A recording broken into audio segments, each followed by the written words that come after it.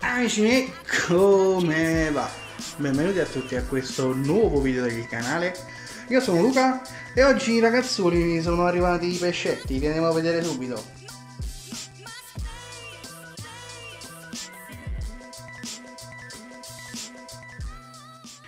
Imballatissimo.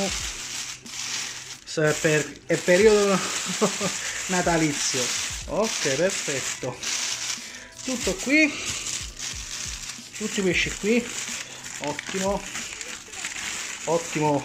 Borse buste belle grandi.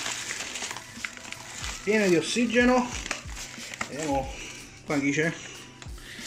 Qua c'è. Chi c'è? Ah c'è la nostra valenzianea sta un po' agitata. Lasciamo un attimo riposarsi. Vediamoci il pagliaccetto che sicuro. È questo qui.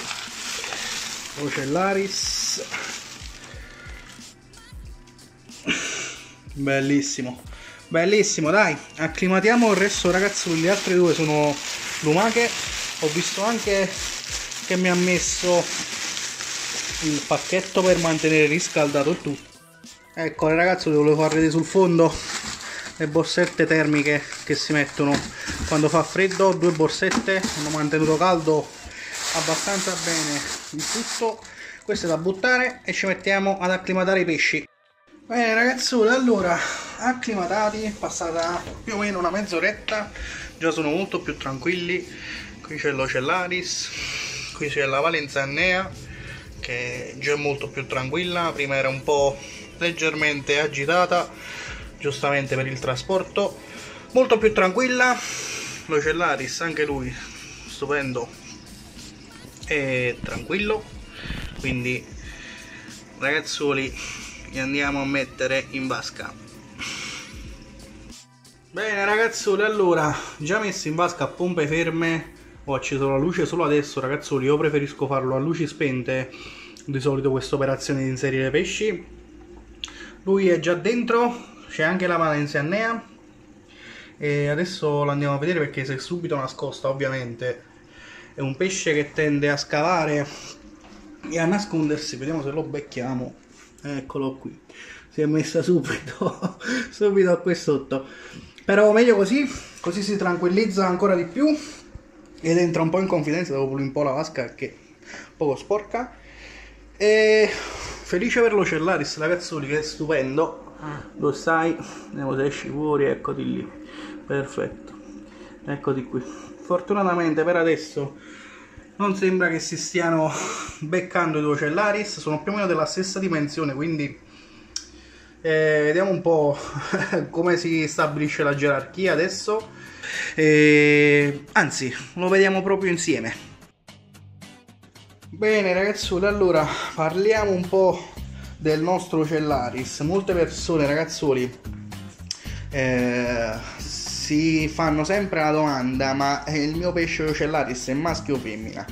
Questo ragazzo lì la gente ovviamente se lo chiede per una serie di motivi diversi, ovviamente per, la, per sapere se appunto il proprio pesce pagliaccio no è femmina o è maschio eh, e quindi se è possibile creare una coppia e eh, altre persone anche appunto lo vorrebbero sapere nel caso in cui appunto dovessero inserire un altro cellaris e eh, vorrebbero provare anche la, ad avere una riproduzione ok dell'ocellaris. Quindi eh, diciamo che ci sono diversi casi appunto dove una persona può voler sapere il sesso del proprio pesce pagliaccio. Detto questo ragazzoli eh, Diciamo che eh, i pesci pagliaccio eh, non, na, è, difficile, è difficile appunto eh, diciamo sapere qual è il sesso del pesce pagliaccio a prescindere perché tutti i pesci pagliaccio eh, quando sono piccoli o sono giovani eh, sono sia maschi che femmine. O meglio non sono né maschi né femmine non hanno sesso sono eh, neutri ok quando nascono e quindi fino all'età giovane restano neutri.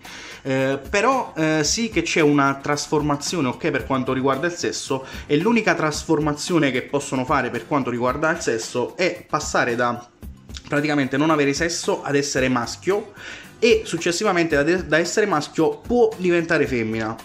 La cosa è che quando diventa femmina eh, non può ritornare maschio, ok?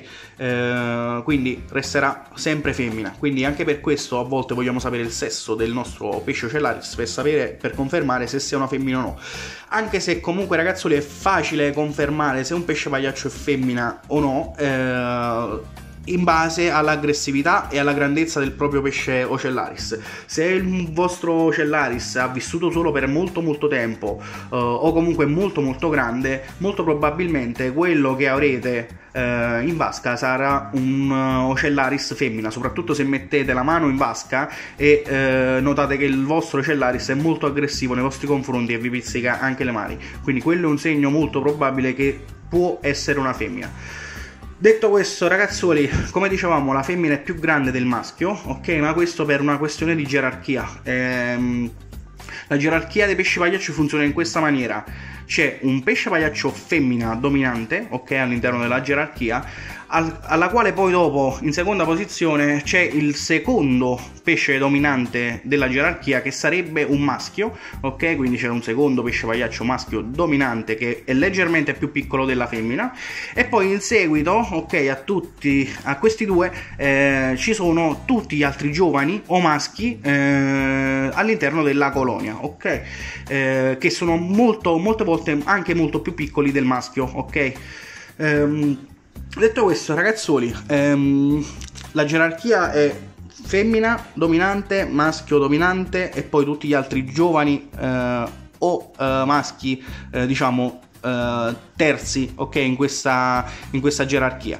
Ehm, se il, pesce, il secondo pesce pagliaccio nella gerarchia, il pesce pagliaccio maschio, dovesse morire, eh, va in successione, ok, prenderà il suo posto un altro maschio all'interno della colonia, sempre ovviamente se la femmina lo accetta, ok?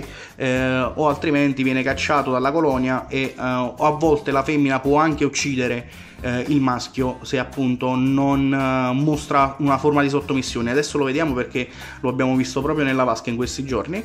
E, ehm, quindi Uh, se muore il maschio, la femmina dovrà accettare il maschio. Se invece muore la femmina, o se dovesse morire la femmina, um, il maschio uh, secondo nella gerarchia diventerebbe il primo all'interno della gerarchia e diventerebbe la nuova femmina, ok?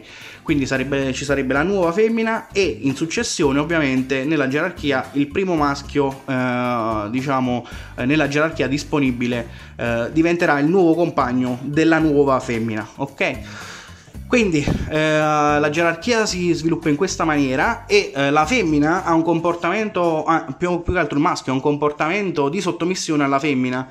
Eh, come potete vedere ragazzoli dal video che ho registrato pochi giorni fa, praticamente il secondo giorno in cui abbiamo inserito l'ocellaris, ehm, questo mostrava un, caratt- un, comportamento di sottomissione. Questo, eh, come vedete, si eh, gira da un lato e inizia a tremare, ok? Quasi come se fossero degli spasmi. Questo ragazzo è un chiaro segno di sottomissione del maschio alla femmina, ok? Quindi eh, il maschio e la femmina, il maschio più che altro si è sottomesso alla femmina, ha riconosciuto la femmina come la dominante all'interno della gerarchia e adesso ragazzoli sappiamo qual è il nostro, il sesso dei nostri pesci all'interno del nostro acquario marino, ok? Quindi la, il nuovo Ocellaris è una, una femmina e l'altro è un maschio. Come vedete adesso stanno leggermente separati, eh, però stanno diciamo in fase di uh, accettazione l'uno dell'altro, anche perché la femmina una volta che vede il maschio sottomesso sì lo accetta, eh, però eh, continuerà a dare dei colpetti al maschio per vedere se continua ad essere sottomesso e che appunto eh, diciamo riconosca la gerarchia all'interno della coppia in questo caso. Quindi eh, la femmina a volte continuerà a dare dei colpetti e nel caso ragazzoli il maschio non si sottometta alla femmina, eh, quello che succede in vasca, in vasca o in natura eh, è che appunto l'ocellaris eh, tenderà ad uccidere il maschio o comunque ad allontanarlo.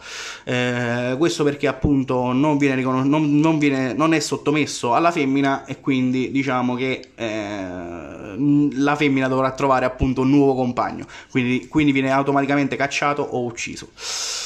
E niente ragazzi, spero che questa spiegazione vi sia stata utile, continuiamo con il filmato.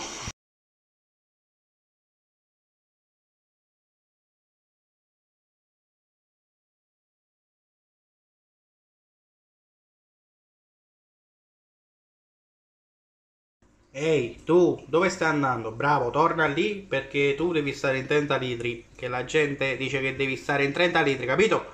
Non ti muovere da lì. Ancora, te ne vuoi andare nei tuoi 30 litri per piacere? Ancora qui, dai. Ehi, ehi, torniamo a casa, dai.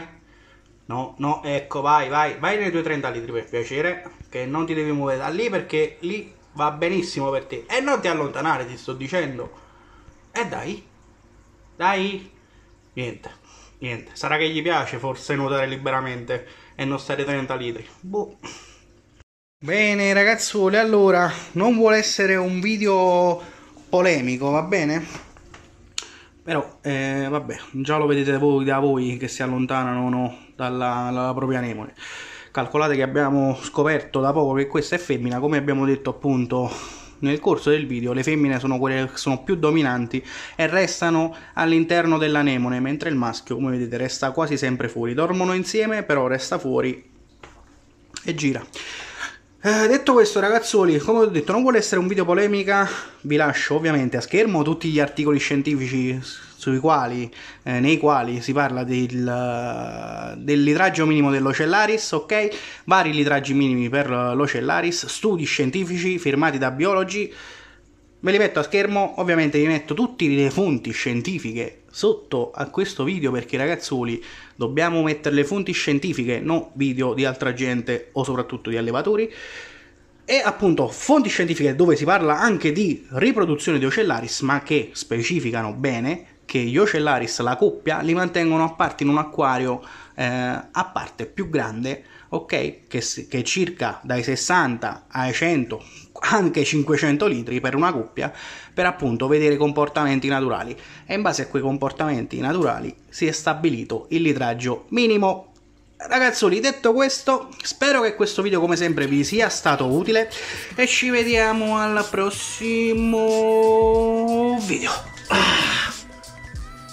E dai, in 30 litri tutte e due per piacere.